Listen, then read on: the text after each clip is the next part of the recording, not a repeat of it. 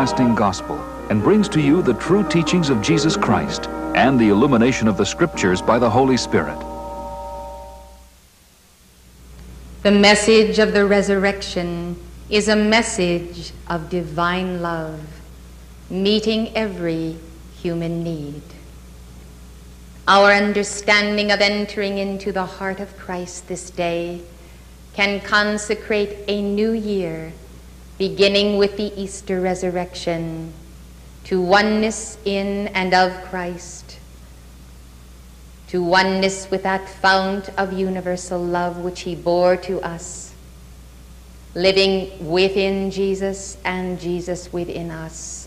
We can come to understand how this love applies to every situation in our lives, everything that is within our hearts, and everything that faces us as we daily read the headlines in the newspapers.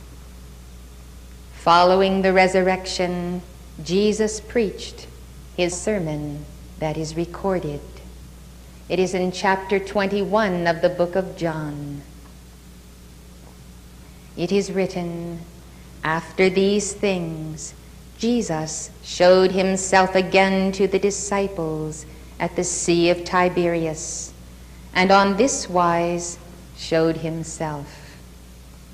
There were together Simon Peter and Thomas called Didymus, and Nathanael of Cana in Galilee, and the sons of Zebedee, and two others of his disciples. Simon Peter saith unto them, I go a fishing. They say unto him, We also go with thee. They went forth and entered into a ship immediately, and that night they caught nothing. But when the morning was now come, Jesus stood on the shore, but the disciples knew not that it was Jesus.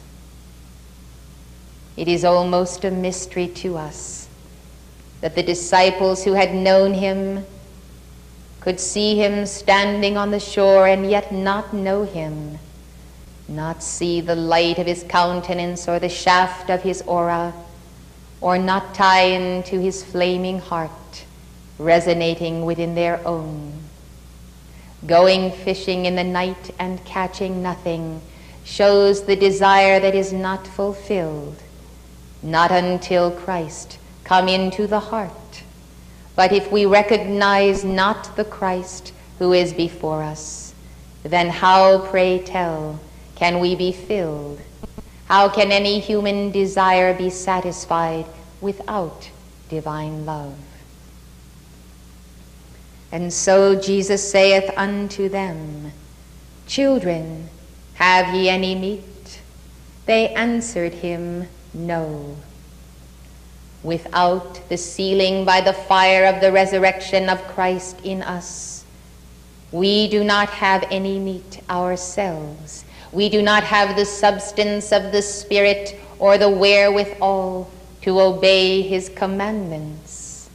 And thus, in these final hours of his known mission, we contemplate the meaning of his presence and his word. Perceiving their desire and their need to fish, he gave them the alchemical translation of their fishing, even as he had begun his mission in the transmutation of the water into wine. He said, Cast the net on the right side of the ship and ye shall find. He is saying it is all right to have the desire to go fishing. It is all right to have ambition as long as that ambition is for the internalization of the word. You can have all these things if you will but understand the casting of the net on the right side of consciousness then you can have the victory of love in success in life and in success in the hereafter. Is not Jesus' mission to teach us the perfect wedding of the human and the divine? One does not exclude the other, but each one makes its demands that must be filled, and we must do so without compromising either side of our nature, nor indulging it to such an extent that we do not fulfill the quintessence of love. And so they cast, and now they were not able to draw it for the multitude of fishes. When we cast our net, the net of our livelihood and our calling, into the very heart of God to his glory, then the abundant life that he intends for us is ours here below and in the victory of the love of the ascension. Therefore, that disciple whom Jesus loved saith unto Peter, It is the Lord. Thus, the recognition of the miracle presence, the presence of the Lord who does multiply the fishes for their livelihood, but only as that token manifestation of that love which would lead them to a higher calling. Now, when Simon Peter heard that it was the Lord, he girt his fisher's coat unto him, for he was naked and did cast himself into the sea. Thus our nakedness becomes clothed upon with his light and aura and his love. In each instance, without the living Christ, we are nothing, we have nothing. And thus we desire and seek that living garment. And the other disciples came in a little ship, for they were not far from land, but as it were two hundred cubits, dragging the net with fishes. As soon then as they were come to land, they saw a fire of coals there, and fish laid thereon, and bread. Jesus had prepared them food for the body the fire physical, reminding them that it is the fire of his heart that sustains us. He did not fish, and yet he had fishes all prepared, ready for their nourishment, showing them that in the fullness of the Piscean age, he had the complete nourishment for their souls and for their bodies. This is the quintessence of the message of love, the master who is servant and the one who explains to us, My grace is sufficient for thee.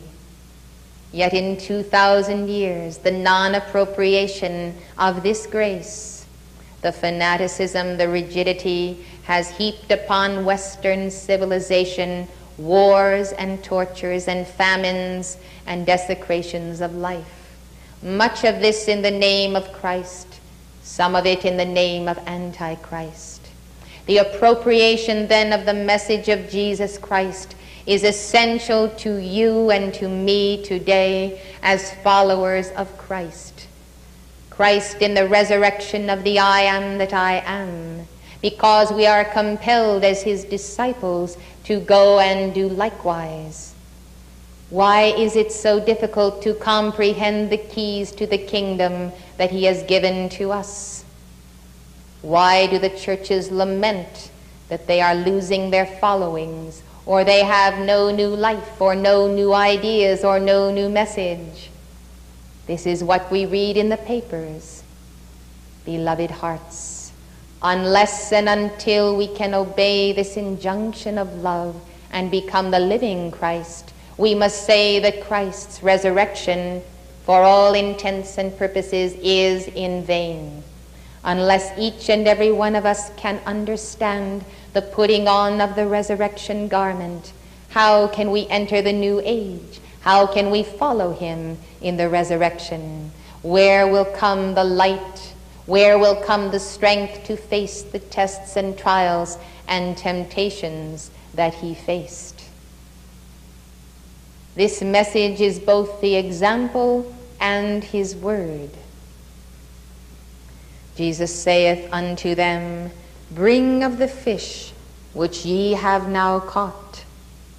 Simon Peter went up and drew the net to land full of great fishes, an hundred and fifty and three. And for all there were so many, yet was the net not broken. Jesus saith unto them, Come and dine. And none of the disciples durst ask him, Who art thou? knowing that it was the Lord. For all of the fishes which they caught, the net did not break. It should have broken, but defying the law, Jesus' consciousness was able to contain all of the fishes all of the light bearers, all of the disciples that should gather when we cast the net of love, and yet the net should not be broken. This is a tremendous message of our ministry today. Jesus then cometh and taketh bread and giveth them, and fish likewise. This is now the third time that Jesus showed himself to his disciples after that he was risen from the dead. And in the third time is the demonstration of living love, an example that should be kept throughout all Christendom. So when they had dined, Jesus said to Simon Peter, Simon, son of Jonas, lovest thou me more than these? He is speaking of the fishes that have been hauled in. He has given to him a miracle of abundance, as we would give to our own the abundance of our handiwork. Yet Jesus is longing to know it is not the miracle I do for you, it is not the gifts I bring you, but do you really love me more than these things which are a mere token of our love? Jesus has a great desiring to know that he is truly loved in his final hours. And he explains what is the meaning of that love, what it means to the individual who bears that love in his name. The impetuous Simon, who was always quick to agree and affirm, responds, Yea, Lord, thou knowest that I love thee. He saith unto him, Feed my lambs. Peter is quick to tell Jesus that Jesus knows that Peter loves him.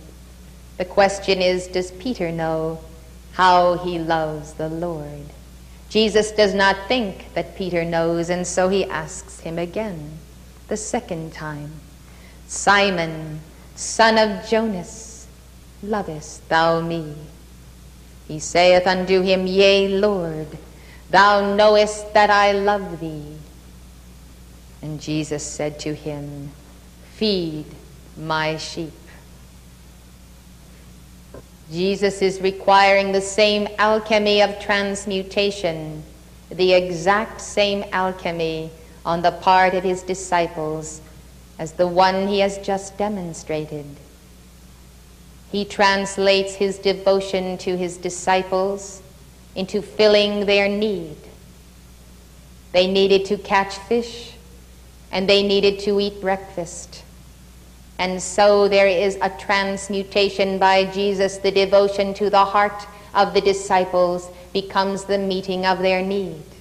Now, in turn, he expects the same. If you love me, let your love not be either an idolatrous love or a possessive love or a selfish love but transfer the love that you bear to my heart to my sheep. The sheep we do not see as the equals of the disciples. The disciples are the initiates. They have been with him. They have learned to take a portion of his mantle to go after him as apostles and preach his word. And who are the sheep then? They are the little lambs. They are the children of the light who require guidance and nourishment and constant care and loving of their bodies and their souls and their minds. But above all, they require the spiritual food that will carry them beyond, through this world and to the next.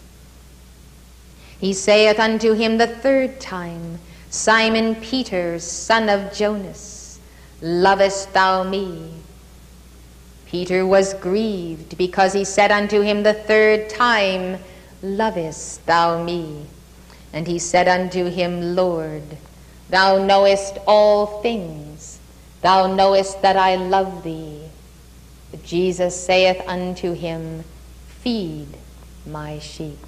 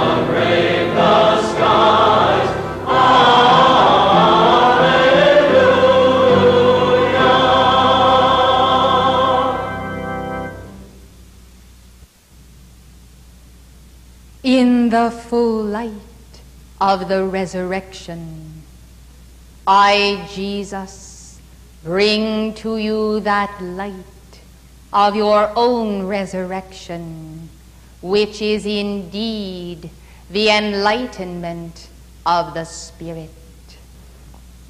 Beloved, in the love of the Spirit on the Lord's day, consider then what is the meaning of the Lord's day why, it is the appearing of your own I am presence. It is the internalization of the word within you. And these are not mere words that I speak, but the promise of your Father from everlasting unto everlasting. And thus the march of the Son of God moves on. Thus the world caught up in its usual compromises and dichotomies is all around you, but in the midst of chaos, the fire enfolding itself is the true spirit of the immortal one that you are. Now, as this is a flame gathering more of itself, what we see is the equation of the soul entering in to the flame gathering process do you understand, my beloved, that this is the mighty work of the ages, for which work you have been given time after time, cycle after cycle, the new body, the new vessel into which you would pour. The new wine of the Spirit, and thus as the tiny babe comes forth, it is with full hope Hope within the soul that this time, this embodiment, the renewal will take place. And the vow is made and the striving is begun, and the child determines to master the movement of limbs, to master coordination, to go out and discover the whole world as that which is the world inside. Thus the child is born with a quest for self mastery, and by and by there is limitation placed upon that very concept of self mastery, as others do for the child what the child can only do for itself or as others lower the level of excellence that is required and not allow that child to reach for the stars and to discover just how high the reach must be in order to grasp the union with the I am that I am. Let the systems of education contemplated by parents and teachers take into consideration that in the child mind there is no limitation, there is an acquaintance with infinity. Time and space do not come easily to the child, and therefore, while you train him to work within these confines, do not forget to allow the spirit to soar and to contemplate dimensions that are indeed infinite the largesse of God Himself, the magnanimity of God, the generosity of life, space wide and open, the vastness of the seas and the valleys and the mountains. Let the child see and know the wonder of this expanse that is His in which to create. Thus, beloved, Understand that the balance between the indoor and the outdoor is the going within to the secret chamber of the heart, where the child may learn the inner disciplines of energy and the mastery of detail within the mind and within his world, and the going out to discover that there is an infinite potential in God, there is an infinite potential in the fire enfolding itself and the challenge of life on earth is the wedding of the twain. Thus, the divinity ensconced in the humanity is the mark of the individual who is balanced. And those who are unbalanced in this society and civilization, as always, either have an oversense of self importance as gods which they have made of themselves, or else they have an undersense of importance of themselves as human beings. The equation then must be the realization of the hand in the glove the glove being the body that you wear, the hand being that movable force of the Godhead that is yours also, a power to be wielded, a love that can be given, and a wisdom that is the bread broken for you. For this is indeed my body of light my body of light, beloved, is that light which quickeneth every cell of the mind. I come then for the breaking of the confines of your own version of orthodoxy, your own version of self-limitation and mortality and self-condemnation. For above and beyond and apart from that which the false pastors have chosen to give you is your own sense of self-limitation and thus there is a doctrine of human values which end is the exclusion and toto of the divine man or the divine woman and thus for all intents and purposes the evolution of the soul ceases while the development of the human increases and in that increase there is more of the development of the outer that is present at any moment to snuff out the tender inspiration of the soul, to reach in the fire of creativity and break the mortal coil and self transcend.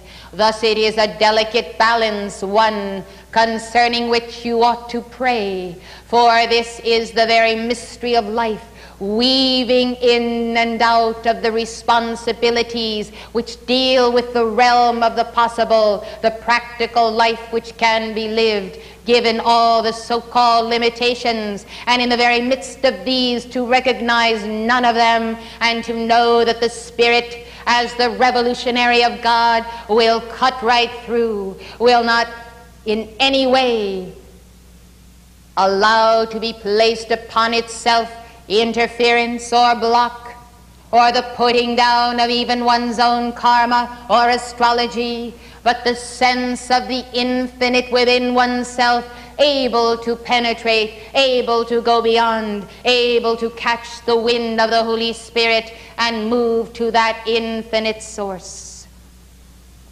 The stars have a goal and their goal is the central sun. They point the way to a source no longer seen, You can neither see the central sun from your vantage, nor can you see the sun behind the sun. And yet every flower tells you there is a central sun. Every cell in your body tells you there is a central sun. And your physical beating heart is the central sun of your temple. And it also tells you that the repetition of centrality in the earth even in the fiery core of its center, does remind and bespeak of the infinite Its sun whence you came.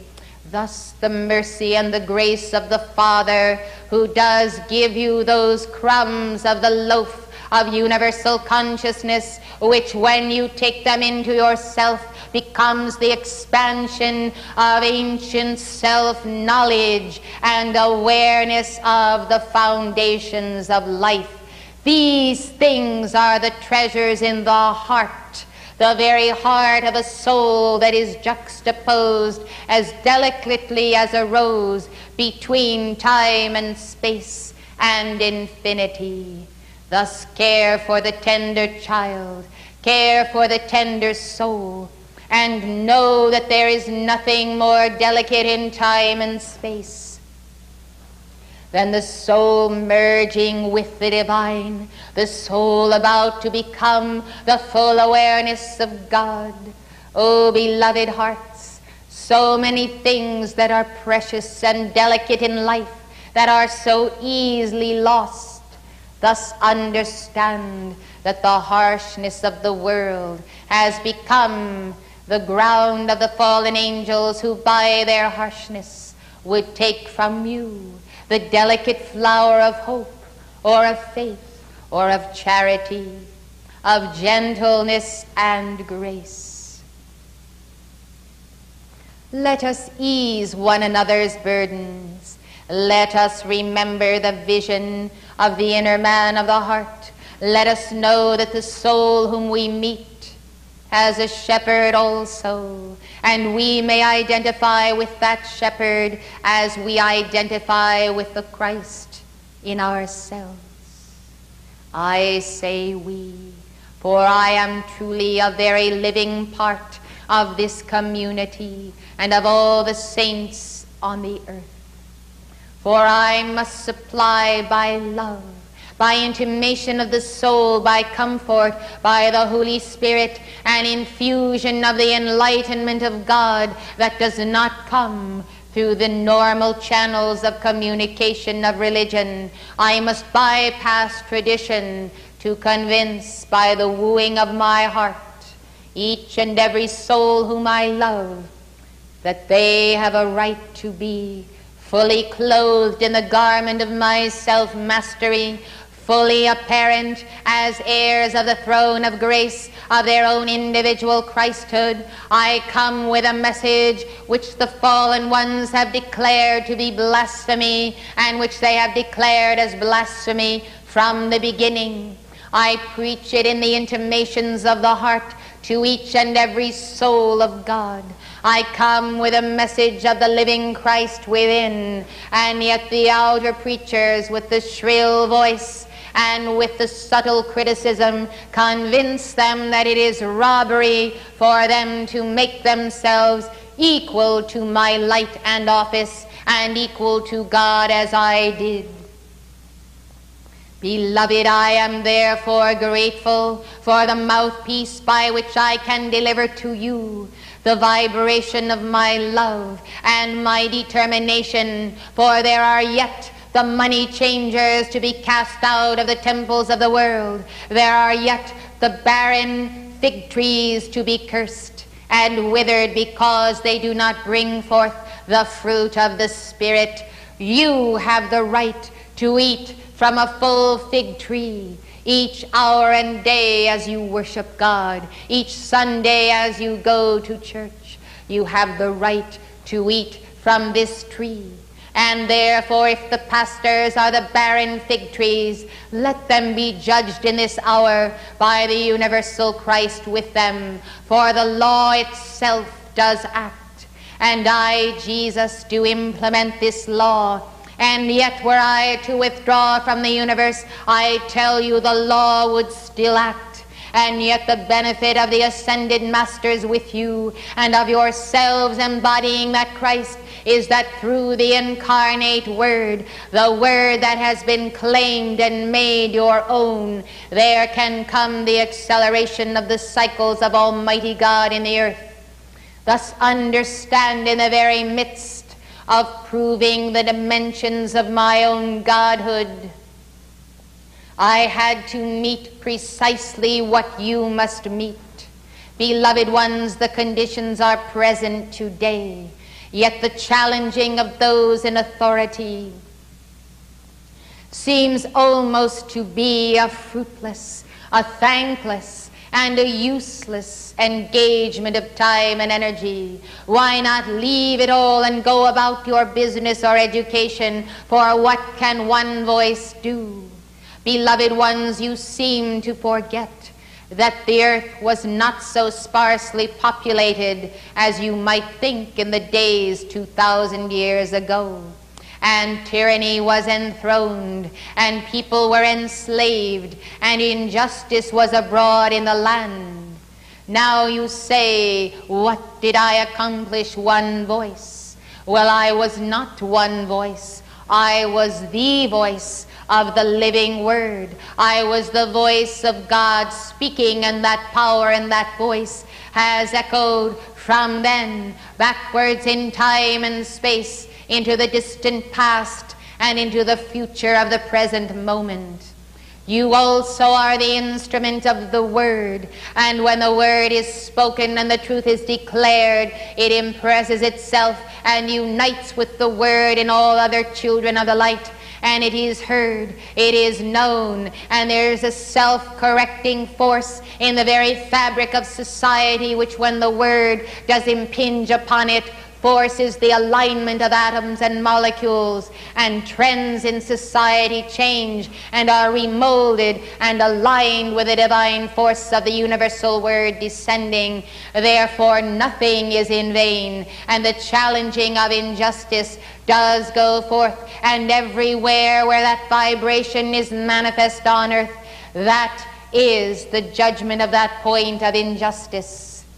Fear not then for there is an adjunct to this service, and that is that the Word strengthens all those who allow themselves to be used by it. And the Word, therefore, becomes the life force that increases the sacred fire of the spine, whereby you have the authority of the shepherd's crook. Not only to feed my sheep, but to demand that those who have made themselves secular shepherds in government, in the economy, and in education also come into alignment with the mediator who is Christ. Let the shepherds rise up then and heal the people and challenge their oppressors. It is ever the work of the living Christ. This is the message. Feed my sheep. They must be fed first and foremost the spiritual truth.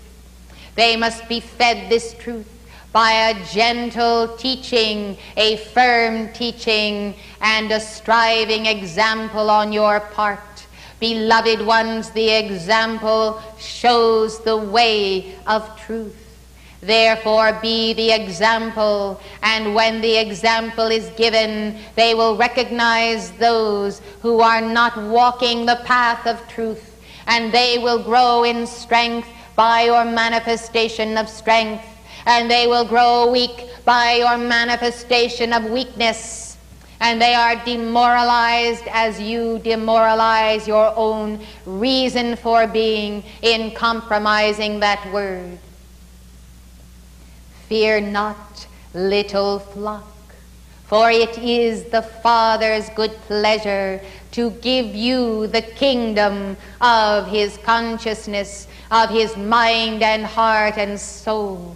In the hour of greatest frailty or greatest error or greatest out of alignment state, whatever your burden may be in that precise hour, my beloved, understand that this is the moment when God reveals himself, when his spirit conquers, when your temple is filled with the Holy Spirit, and you find that not because you have become a human God, but because you have made room, because in fact of your frailty, the Lord God has raised you up to be that instrument.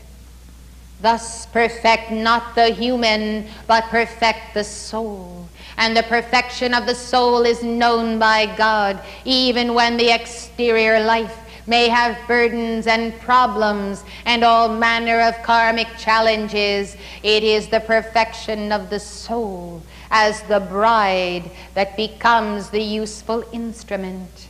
Thus, beloved ones, it is always so that in your extremity God suddenly appears. Thus, the preparation is for the moment, and then you see the wonder of it all is that God Himself is always the doer. And when you observe yourself being His instrument, you know how gracious is our God, how bountiful, how beautiful, how majestic, how fulfilling of all the promises He truly is. And we know that not by might, but by my Spirit, saith the Lord.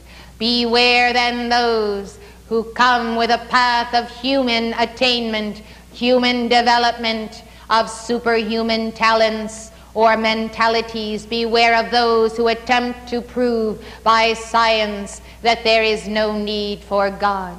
Beloved ones, God can never be contained in all of the extensions of human genetic engineering. It is the Spirit of the Lord, and that Spirit only, that does raise you up, that is the door to heaven. Seek Him diligently, and seek Him in the following of the path of the prophets and the sages of East and West. Let the unascended masters then be the example. Let those who have therefore known the power of the Spirit within go before you. Now, beloved hearts, your path of spiritual attainment is one to which you set yourselves diligently in the very midst of accomplishing the necessities of human life yet not out of indulgence of that human, but out of love. Love of that consciousness of the soul working its way through the human plight and the human dilemma. And who can say, looking upon any man or any woman, what is the human and what is the divine? I counsel you truly, judge not, lest you be judged by powers higher than those of your neighbors. Blessed hearts, you may never know the day and the hour of my coming into the least of these my brethren, whom you have thought to be beneath you or not worthy of notice. Beloved hearts, the coming of the Lord into the temple of the devotee is a most wondrous manifestation of the consummation of love on the shore of Galilee. In the name of the I am that I am, I point the way then. The path of self mastery is to not fail to challenge by the cosmic honor flame whatever may cross your path of injustice toward my little ones. All things that come to you each day are there for the reaping of your soul and for the plucking of the fruit of the tree of life as it is given by the cosmic Christ. I promise you, as I have promised from the beginning, that before you enter a difficult situation, before you go forth in any way, to simply step back briefly and say, Jesus, my brother, go before me. I will then go before you. I will go in the Lord's Spirit. I will draw you up in my garment. I will be one with you and in you, and I will, beloved, clear the way and prepare your soul. And in that moment of the soul's poising for the victory, I will stand back and you will have the victory through your inner tie to the heart of the universal Christ. Thus, there is the way shower and the example, and that I am. But I never take from you the opportunity to prove the law and prove my presence with you and demonstrate the infinite power, wisdom, and love available when you fulfill the law of grace and feed my sheep. Thus, there is an understanding of working with the great white brotherhood, of the cooperation and the co measurement as above and so below. The realization where you are that I am He. And this affirmation, I am He, is the affirmation of Christ in you, and the declaration that the true I within you is that Christ. This is the razor's edge of awareness of the divinity within the human. The human can never affirm, I am He.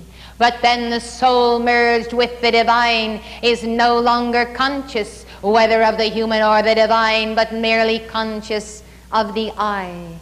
And when the I am that I am becomes the I within you, and you are not compartmentalizing yourself into the subconscious or the ego or the libido or the id or whatever titles and names you wish to designate, including the four lower bodies, when you see yourself as a divine wholeness and a shaft of light interpenetrating the octaves, there will no longer be heaven or hell or up or down or earth or sea or sky. There will only be the pulsating flame, and it will be you, it will be I, it will be be the universal one, beloved hearts. Transcend and leave behind you the former sectarian and segmented consciousness of life. Enter then the universal way and the universal life and be in a universal sense one with every part of being. This has a most practical application, and that practical application can be seen in my life as Jesus, in the life of John the Baptist, and in the lives of the prophets who did not fail. We could not fail, for we were possessed by truth.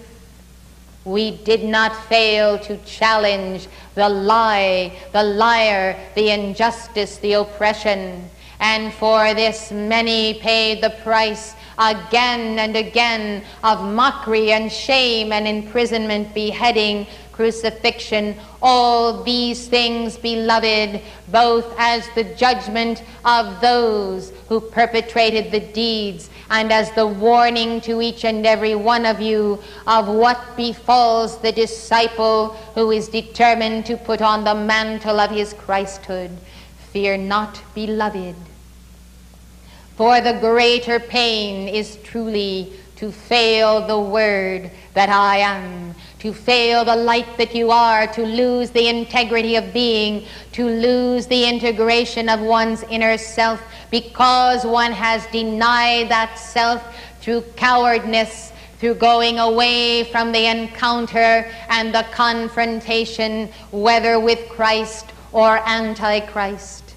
Thus, my message of the Spirit of the resurrection this day is to fear not, come what may, but to move forward, to stand on the principle of being, and to be sure of that principle, and then to not be concerned of the consequences, as one of my disciples has said, let the chips fall where they may. Be unconcerned, for this day go forth to be who you really are.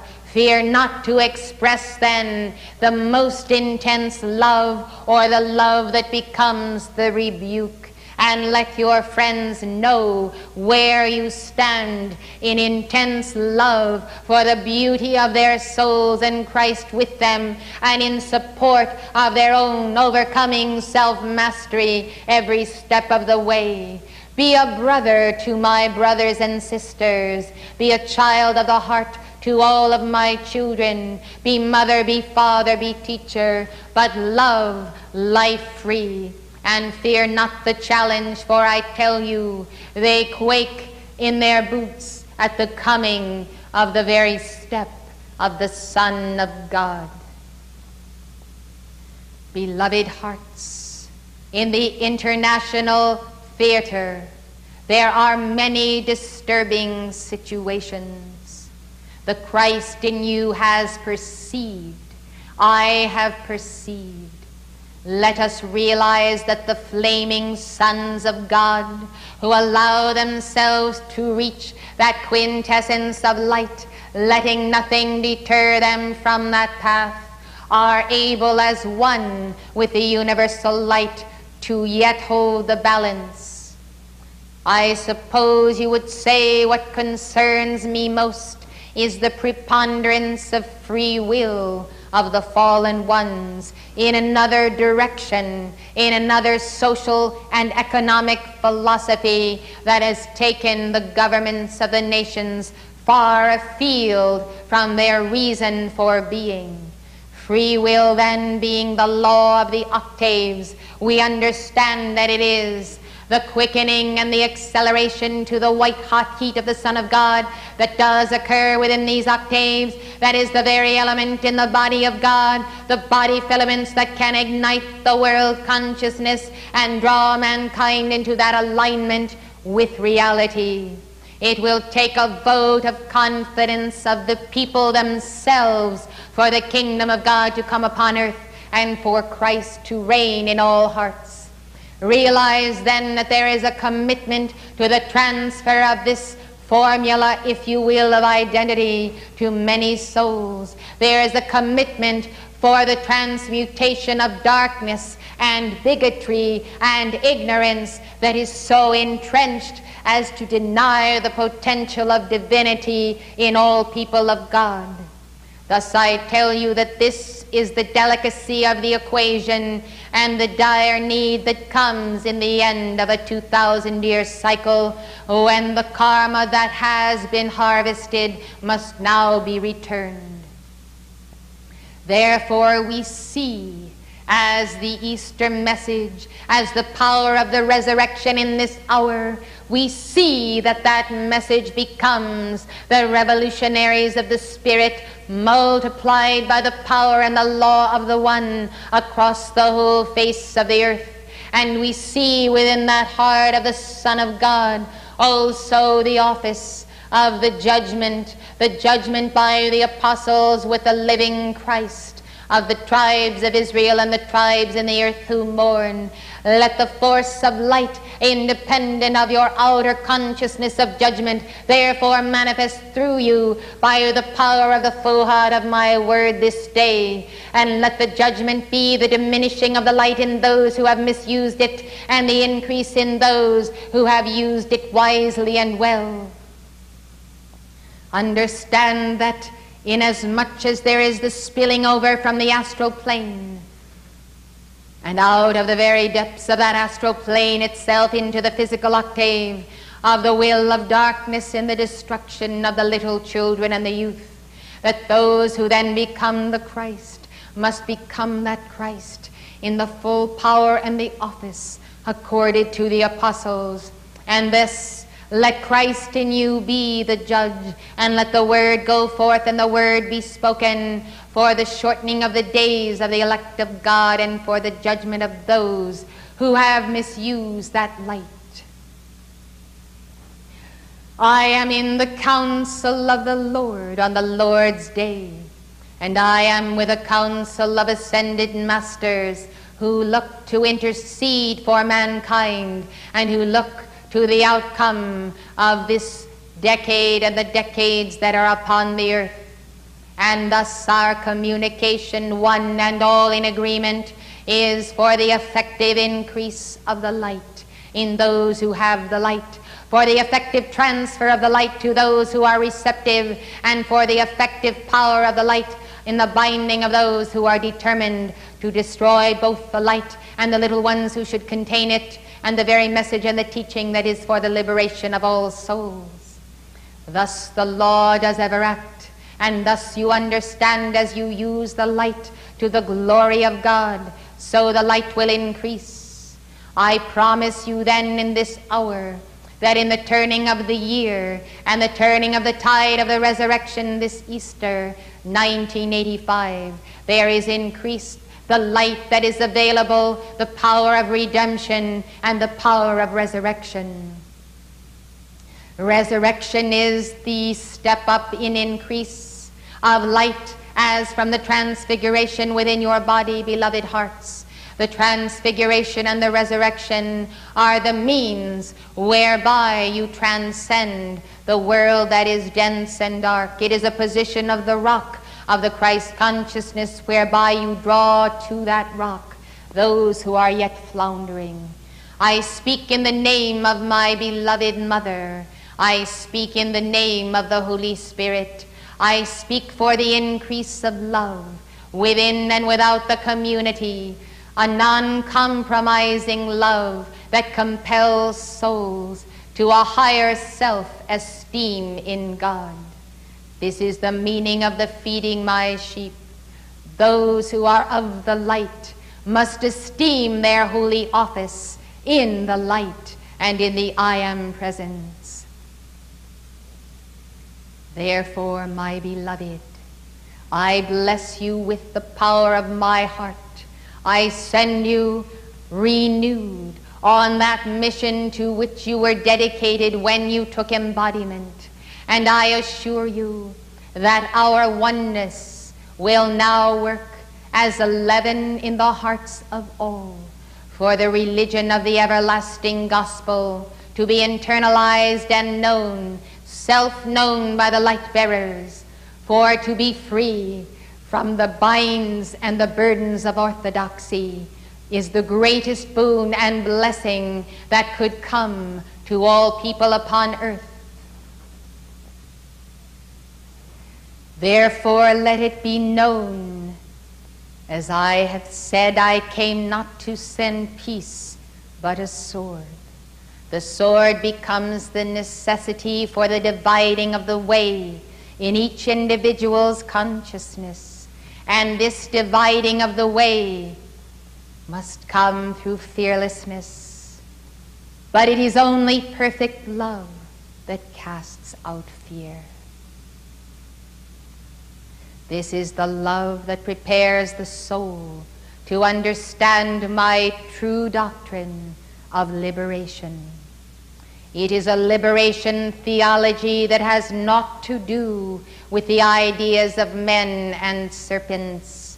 It is a liberation from that very orthodoxy which limits the individual's perception to defend himself, his right to be, his nation, and the new Jerusalem and the new Israel gathered here in North America.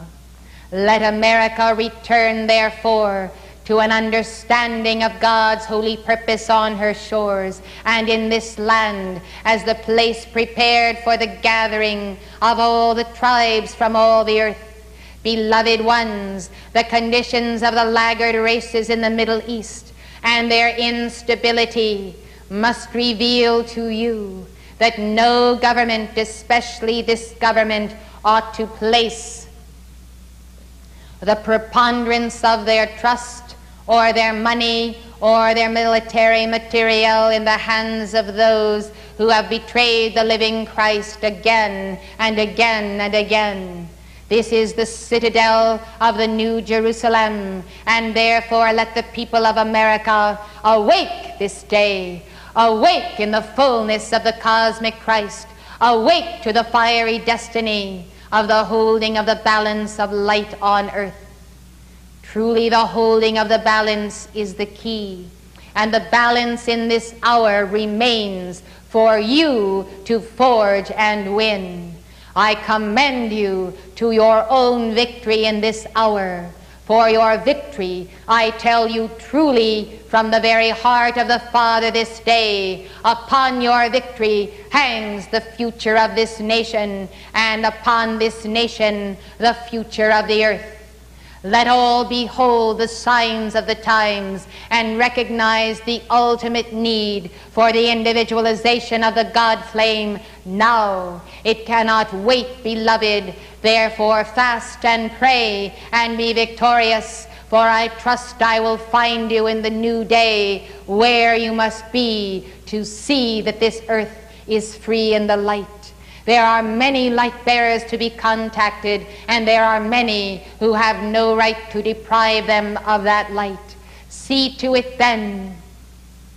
For you have Archangel Michael, you have the holy angels, and all of the servants of God in heaven in answer to your call.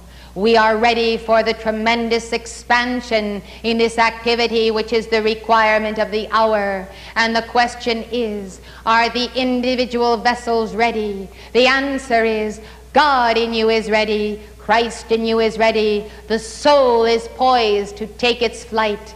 Now, beloved, take the formula of the strength of self in the vessel of selflessness and understand that God indeed will perform his mighty work through you in this age.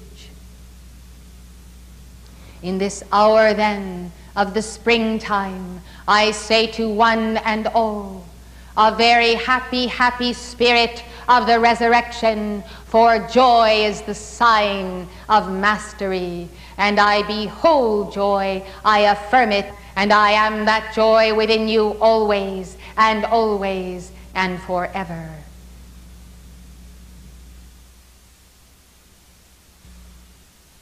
You have been watching The Everlasting Gospel. Empowered by the Holy Spirit, Elizabeth Clare Prophet delivers the word of Jesus Christ.